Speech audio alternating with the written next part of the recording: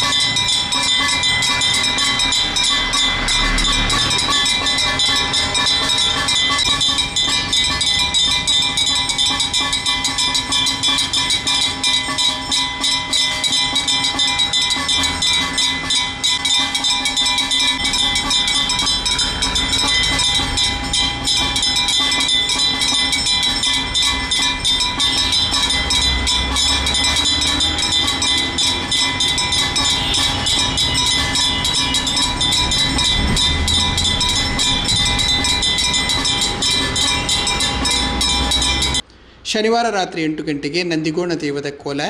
ರಾತ್ರಿ ಹನ್ನೆರಡು ಮೂವತ್ತರಿಂದ ಶ್ರೀ ಕೋರ್ದಬ್ಬು ಮತ್ತು ತನ್ನಿಮಾಣಿಕ ದೇವದ ನೇಮ ನಡೆಯಲಿದ್ದು ಆದಿತ್ಯವಾರ ಅಂತರಾಟದ ಶಕ್ತಿ ರಾಹುಗುಳಿಗ ಸಂಕೋಲೆಗುಳಿಗ ದೇವದ ಕೋಲ ಸಂಪನ್ನಗೊಳ್ಳಲಿದೆ